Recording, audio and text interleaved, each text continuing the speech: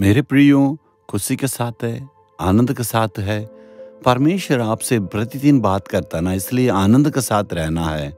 कभी कभी सुबह उठने के समय बहुत ही कमज़ोर होते हैं। जब समस्या को देखते हैं, बहुत ही हम घबरा जाते हैं। इसलिए हम कमज़ोर हो जाते हैं।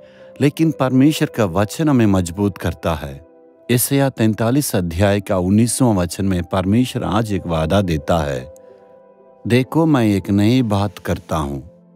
आपको देख के कहता, मेरा बेटा, मेरे बेटी, मैं एक नया बात करता हूँ। पुरानी बातों को ही सोच रहे हैं, बीती हुई बातों को ही आप सोच रहे हैं, जो सारी बातों को सोच के बहुत ही घबराहट के साथ रहते हैं। परमेश्वर कहता है क्यों घबराए हो? बीती हुई बातों को देख मेरी बेटी क्यों इतना निराश, चिंता करती हो? मैं नई बातों को करूँगा, नए आशीष को दूँगा, नए भलाई को तुम्हारे लिए करूँगा, नई उन्नति को दूँगा नई सारी बात को दूँगा। जब परमेश्वर कहता है, क्यों पुरानी बातों को देख के आप चिंता करते हैं? सोचिएगा, एक छोटी लड़की गुड़िया को रख के, पुरानी गुड़िया को रख के वो खेल रही है। पिताजी नया गुड़िया लाने के समय में अपनी पुरानी गुड़िया को भूल जाती है, तुरंत दौड़ के जाकर अपने पिता से नए गुड़िया को ले लेती है।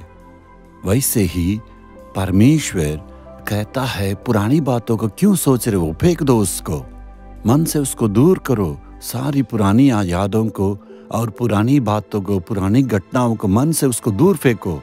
जो बातें पुरानी घटनाएँ वो सारी बातों को दूर करना चाहिए। तुम्हारे मन में ही उसको रखने के चलते तुम्हारे अंदर खुशी नहीं है, आनंद नहीं है, क्योंकि मैं भी तुम्हारे लिए न कुछ नहीं कर पाता हूँ। उसे फेंक दो। मैं तुम्हारे लिए नई बातों को करूँगा, प्रभु कहता है। आज अर्पण करेंगे परमेश्वर। आज हमारे लिए, प्रभु जी तू नए आशीष को नए बढ़ोतरी को मेरे लिए रखा है। ईश का नाम से मैं प्राप्त करूँगा, बोलिए, आज आप प्रार्थना करने से आपका मन में शांत आ जाएगा।